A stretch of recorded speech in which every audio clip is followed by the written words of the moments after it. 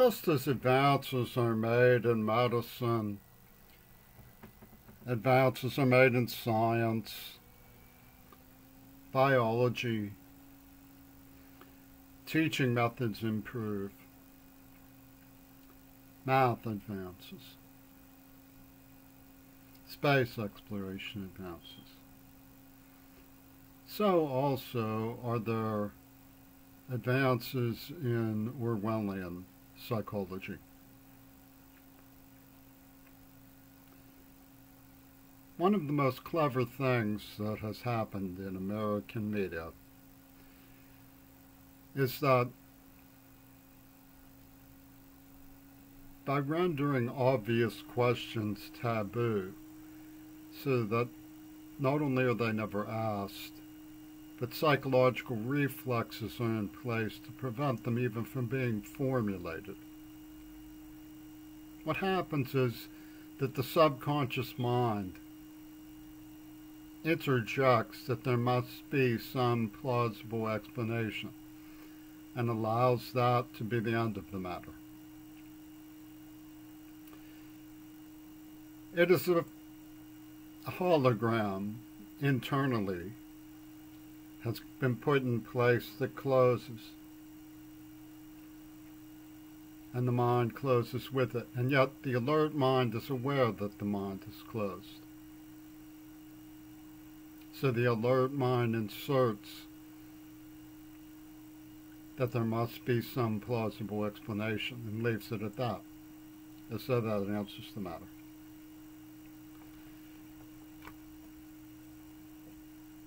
The reason I'm making this video is I want to make sure that certain things are available to me if I go to a psychiatric hospital in Massachusetts as a homeless individual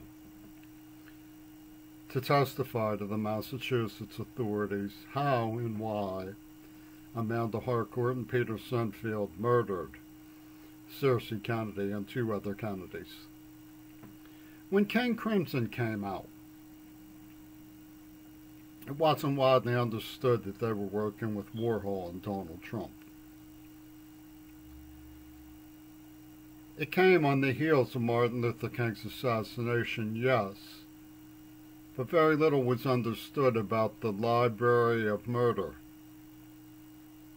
King, Crimson followed King, but that didn't necessitate in anybody's mind that they were sending a signal concerning their involvement.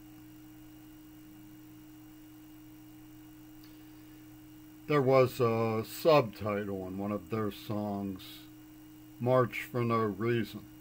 Of course, there were many reasons for the peace marches of the time. This was an attempt to induce and recruit to the idea that there were no reasons for them. I was played this album when I was nine years old by the Wattenmaker family.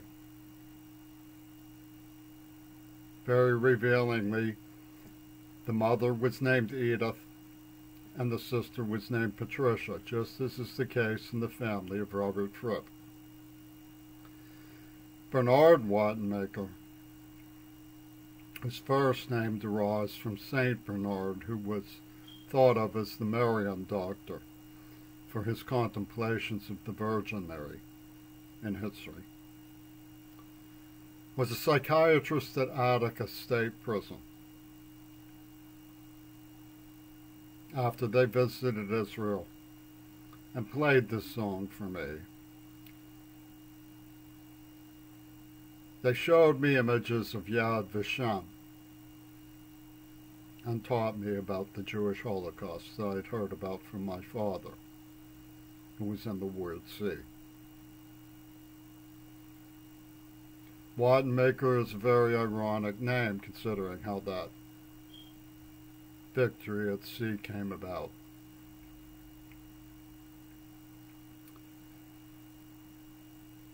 Bernard was a psychiatrist for Attica State Prison working with King Crimson, and they left a script complaining that they had killed Martin Luther King to advance better black men who would respect the chivalric code of the Ku Klux Klan, a new warrior class called the Green Party, loyal to the Axis through an idea of a burning cross against immorality. In a drawing I did at the age of nine, which I copied an image from the album that Wattenmaker played for me by King Crimson. I also make reference to the Promised Land because the Wattenmakers were teaching me about Israel. The letters themselves were coming to me every day from an Israeli named Gail Burston who went to Bryn Mawr, who was introduced to me by the daughter of Magistrate Shelley Friedman, who works to this minute on monitoring me with the NAACP. Mount Eubanks from the city of Pittsburgh, who participated in all of this.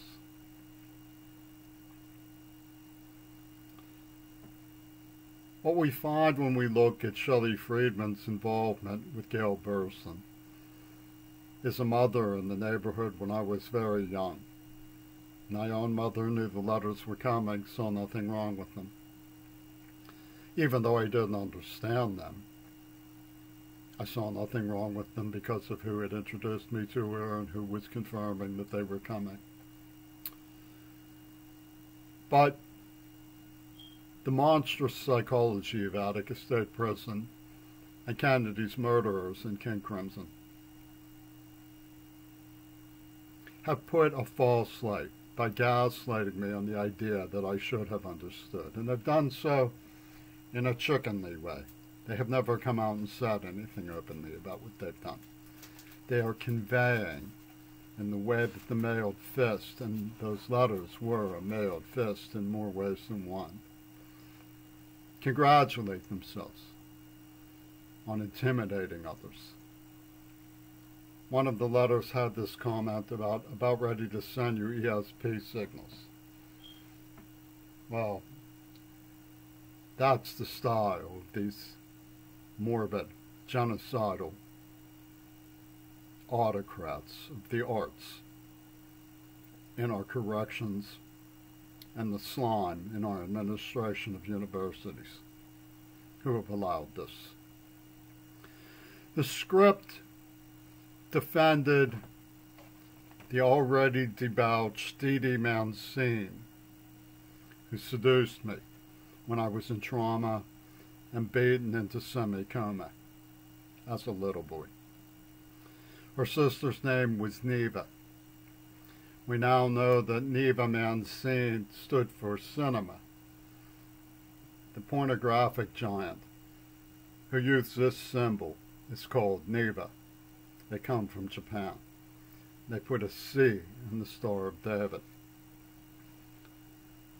The slime in Washington, working with Jay Inslee on the COVID bomb, murdered my father on the back of his obituary, there was a comment about Germany, who he despised for what they did in World War II.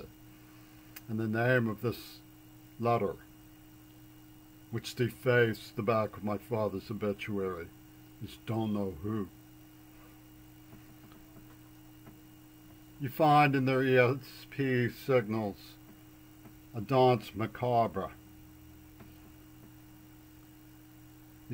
That is found in books that were published by the Cold War team assembled by Hitler and Reagan. In this letter, she says only two people would know if Christ came back and you would be one of them. Only two people would know the truth about what this administration has done. Oswald's ID was from December 7th, the anniversary of Pearl Harbor. One of the filmmakers who worked with Hitler Reagan used an image of the type of person descriptively in the archetypal system of Tammo de Jongh, who is featured by King Crimson on the early records.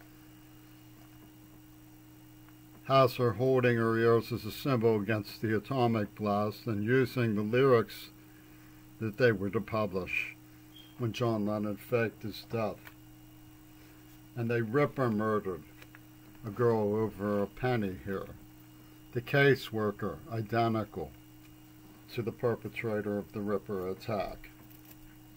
And an image of Gail Burstyn was found in Seattle Center playing the violin with a geisha looking like the cover of that famous King Crimson album. So we know that when they call Mark Mark a boffin, which is a British special weapons scientist, they're talking about a number of things that King Edward did with Adolf Hitler. And his brilliant idea of a genocide based on sexual immorality. There's another Gail Burstyn on the cover of the King Crimson album. When I look through my archives, I find that there's a visual narrative but what's particularly charming is that when they poisoned me in the mouth, they gave information carry bird. A limerick my father used to say was about a canary bird. Can Canute Canary Bird sold his wife for half a turd. Turd was dirty, good for nothing. Can Canute Canary Bird, which means that the Seattle contraption with the NAACP and Shelly Friedman, who poisoned me in the mouth in the lead up to COVID and murdered the Kennedys as members of my family and helping them. Obviously, I have reasons to want to leave. We call the people behind 911 our heroes because one of them is Yoko Ono and pretend that's not what we're doing.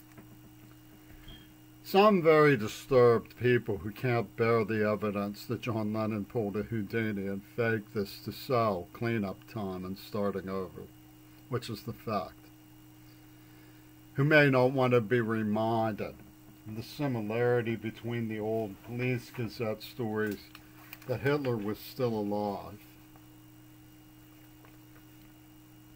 and the rumor that Paul McCartney had died, which was similarly glamorized in magazines talking about his mysterious doubles. People who can't bear the evidence don't want to be intruded on with the invisible idea that Lennon and Hitler working for King Edward avenged the Axis defeat and took control. Have another road they can go down other than just putting the hologram in place that says there must be another explanation. This would be that Warhol and Ono were perverts, and they were wildly admired perverts. So wildly admired were they as perverts that Bob Dylan could put out a song about assassinating Kennedy and then advertise it by killing Circe. And for those people who seek this alternative explanation, the pervert explanation, their gurus are like holy men.